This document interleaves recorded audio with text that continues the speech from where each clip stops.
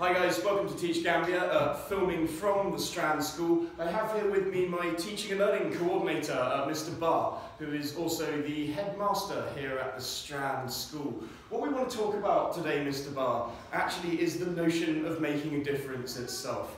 Now, don't get me wrong, there is a lot of great volunteering going on out there, but people looking at volunteering programs, I feel, must be very careful.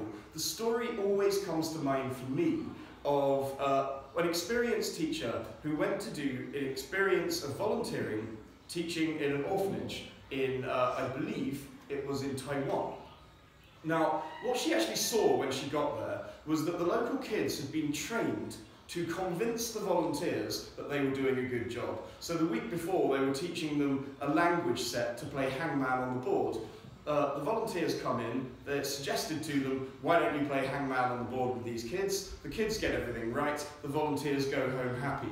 Uh, it took an experienced teacher actually to go and see that, to actually see what was happening. Now, that to me is not volunteering, and it is not experiencing teaching. Actually, to give it its real name, it is exploitation, and it is being done at the expense of the education of the children.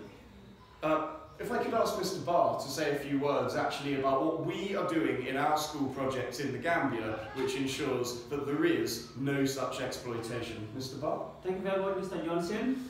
Just you rightly mentioned, as an experienced teacher, observing how volunteering is going on, so that we expect from our volunteers, when they come to do their voluntary teaching, to teach effectively and efficiently. Rightly mentioned, as a teacher, you cannot just um, make everything for the children.